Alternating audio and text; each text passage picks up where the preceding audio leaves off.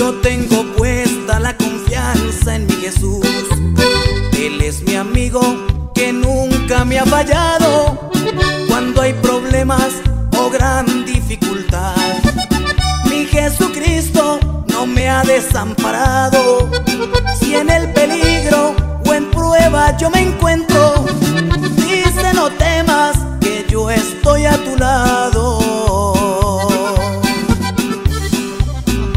Por eso es que nunca me ven desfallecer.